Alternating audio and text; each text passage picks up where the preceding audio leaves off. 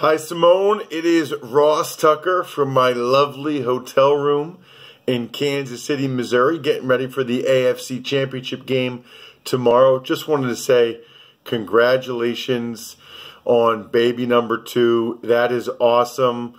Josh told me, I know it wasn't easy, but I'm thrilled for both of you. Josh is an awesome guy. Oh man, I miss those times with my kids when they were born. Awesome. Congratulations, Simone.